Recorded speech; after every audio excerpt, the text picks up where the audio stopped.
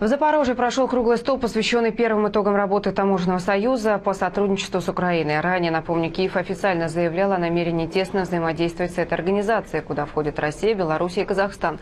По расчетам специалистов, вступление в Таможенный союз Украине выгодно. Нас связывают э, большие кооперационные, древние, можно сказать, взаимоотношения. И это, может быть, станет стимулом для того, чтобы и в вопросе об участии Украины в таможенном союзе, в едином экономическом пространстве с Россией, Белоруссией и Казахстаном перевести в более практическую плоскость.